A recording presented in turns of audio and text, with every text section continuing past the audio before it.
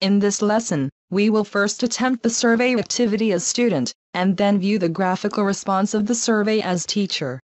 So, switch to Google Chrome. First, log in as student 1 to attempt the survey. On the course main page, click on the course quality survey to attempt it. Enter your response for each question.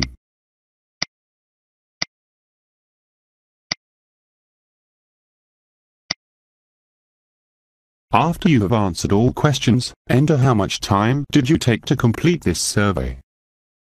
So, expand the drop-down menu and select the time taken to complete this survey. In the last question, you can enter your comments. Click on Click here to continue link to submit your responses. Acknowledge the message and click Continue. Now, we will check the responses as teacher. Switch to Firefox to view the survey response as teacher. Notice that now you are logged in as admin user. Scroll down to the third week of the course and click on Course Quality Survey. On the top right side, click on View 1 Response link to see the response given by Student 1. This graph gives the overall summary of the survey response. Now click on Scales tab in the top left side. Here, you can see the graphical representation of the responses, given for individual scales used to build the survey.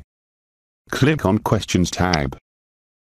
Here, you can view the responses for individual questions in the survey. Now click on Participants tab. Here, you can see the list of all participants who have attempted the survey with the date and time of their attempt. Then click on Download link.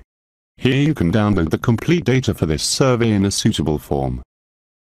Click the link, download in Excel format.